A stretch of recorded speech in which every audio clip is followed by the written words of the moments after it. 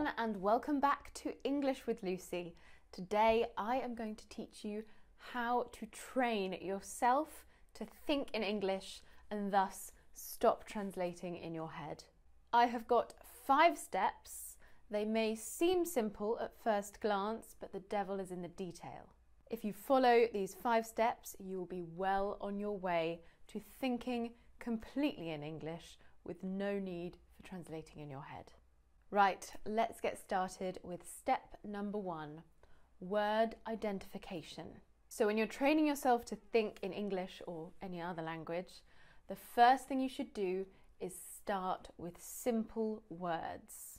When we are children learning a language for the very first time, we start off with individual words. So, that's what we're going to do here. Wherever you are, whenever you become aware of the fact that you have an opportunity to learn some English, you might be on the bus, you might be walking somewhere, you might be sat at home, like a lot of us are at the moment. Look around you. What do you see? Start picking out words from your surroundings. There'll probably be nouns at first, so I can see windows, curtains, radiators, boxes, because we've just moved. If you identify a word that you don't know in English, you're going to need to note it down, but I don't want you to write it down in your own language.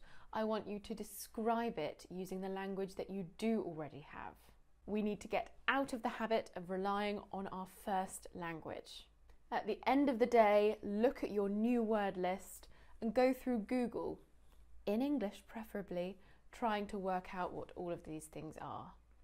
Now let's move on to step number two, which is silent narration. When we're small children, we start with words and we move on to simple, short sentences. And then as we grow older, they become more complex. It's exactly the same when you learn a second language or additional language. Just like we did in step one, I want you to look around but think more about what is happening rather than what there is narrate what you are doing, what animals are doing, what is happening around you. So, this means you're going to start needing to use verbs.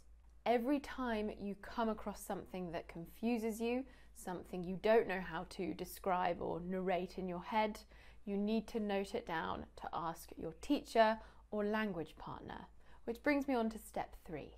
Step three is daily correction. You need correction, ideally, every single day. It's very, very difficult to learn a language to a fluent level without having someone else help you. To keep your mind connected to English all the time, it is important that you study every day. The best possible way of doing this is taking a proper English class with a native speaking, qualified teacher every single day. Now, this might seem impossible to many of you because of time, money, and travel constraints, but trust me, there is a solution. Lingoda, the sponsor of this particular segment, has extended access to their Lingoda language sprint. With the sprint, you can learn to speak a language confidently in just three months, gain 100% of your money back, and gain free access to the Cambridge Online Language Test. You just need to take one of their 24 7 classes every day for three months to get your full course fee refunded. This sprint starts on the 8th of April 2020 and lasts until the 6th of July 2020. The Super Sprint offers a 100% refund, and there is also a lighter option, the Regular Sprint, which offers a 50% refund. You can join the sprint in English, business English, Spanish, German, and French from beginner to advanced level. It's suitable for everyone. I'm very happy to share this opportunity with you because I've seen firsthand how effective the Lingoda language challenges can be. So many of my students have taken them and it has transformed many of their lives. I've also tested out a fair few lessons and the standard of teaching was excellent, as were the materials. And it's perfect for you and your daily correction because you can interact with native speaking, qualified teachers anytime, anywhere, as long as you have a stable internet connection. And group sizes are really small, with an average of just three per class. So, how can you participate? Well, you've got to click on the link in the description box and sign up before the 3rd of April and pay for your first month to secure your spot. You can use my code SIGNUP5 for 10 euros off your first month. Lingoda will refund your tuition fee in full if you attend the agreed amount of classes within each sprint month by following the contest rules. But remember, sprint places are limited. This is a language school. Places fill up. So you have the link in the description box. You have my code SIGNUP5 for 10 euros off your first month. What are you waiting for? Let's move on to step four. Step four is self conversation.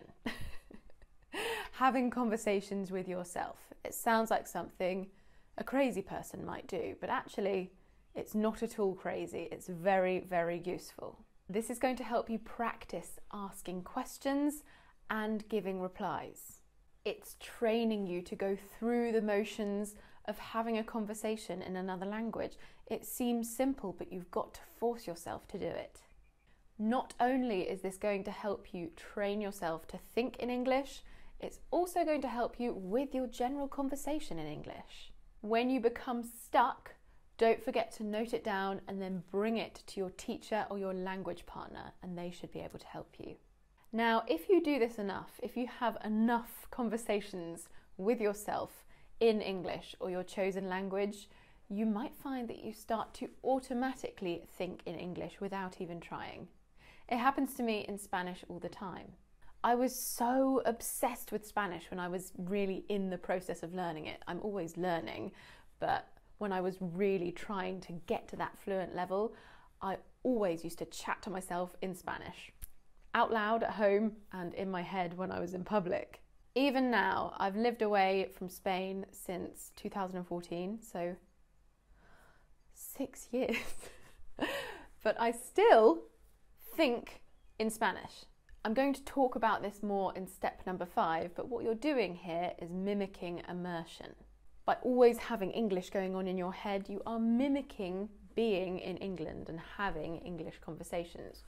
Or any other English speaking country, of course. I'm not biased. Well, I totally am.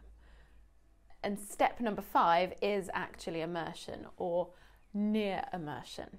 Full immersion, surrounding yourself by English, isn't totally possible for everyone. The best thing you can do is get up and go to an English speaking country, but that's very hard at the moment.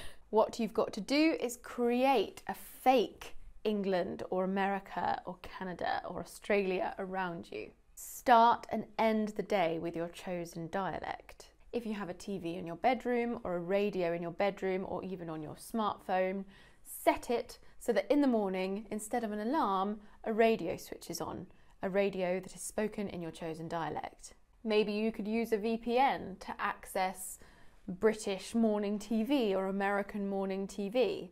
Something that seems very mundane and would be very mundane for native speakers, but mundane is what you want. It's the everyday immersion. Another great option is making friends and speaking with natives. I have a whole video about this. Many people find this very difficult, which is why I made the video to help you out. I'll put it up there and I'll also link it in the description box. But in general, people feel like there are more students wanting to learn English than there are English speakers wanting to speak to students. And this is true, but there are ways around that, so I really do recommend that video. If you find it really difficult or really anxiety inducing, then you could set up English nights or English sessions with your friends or maybe just with yourself. It's absolutely fine to continue doing this by yourself. As I said, it's better to have help, but not everyone wants that. Throw a dinner party in English, buy an English cookbook, or look at English recipe websites. There are loads. Um, I'll put some recommendations down below, but BBC Good Food is a great one. We do a lot of British dishes there. Look for chefs like Jamie Oliver. He does a great 15 minute meals range. They're really quick and easy and supposed to be quite healthy. Follow the recipe in English, narrate as you do it, identify words around you as you're doing it, and then serve it in English with your friends or not and have either real or silent conversation as well. Now, what will you start noticing? How will you know when you're finally able to think in English? One thing I noticed was that I started dreaming in Spanish and my brain got really confused, and I actually started dreaming of my parents talking to me in Spanish. It was very odd because it wasn't my mum's voice, but it was my mum speaking to me in Spanish. You'll also find yourself understanding jokes and humour, and that's something that's really, really enjoyable. And you'll also surprise yourself on multiple occasions when you realise, oh my God, I was thinking in that language. um, when you hadn't even tried to, you, you will realise that it's becoming second nature. And one of the best things is when you can think of a word in the language you're learning, but you can't think of it in your own language. That's so weird when that happens, but it really means you're getting somewhere. Your brain is automatically going to the language you're learning first. Right, that's it for today's lesson. I hope you enjoyed it and I hope you learned something. Please feel free to share any more tips down below, especially if you've managed to start thinking in English and to stop translating in your head.